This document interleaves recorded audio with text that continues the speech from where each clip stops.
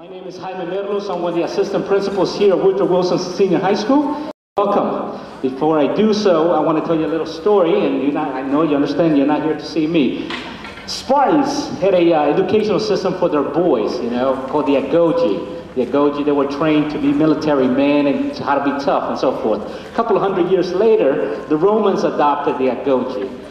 But in their adoption, they also included the arts, music, dancing as an education part for their boys and girls. So that's how important the arts are to our educational systems, and it's been important for decades and millenniums for a lot of uh, cultures out there. And this evening is our rendition, and I'm glad that you guys are here and you guys are appreciating the arts and support here your students. I'm not going to keep you any longer here. I'm going to introduce you guys to our wonderful recorder group. So thank you. I hope you enjoy the evening.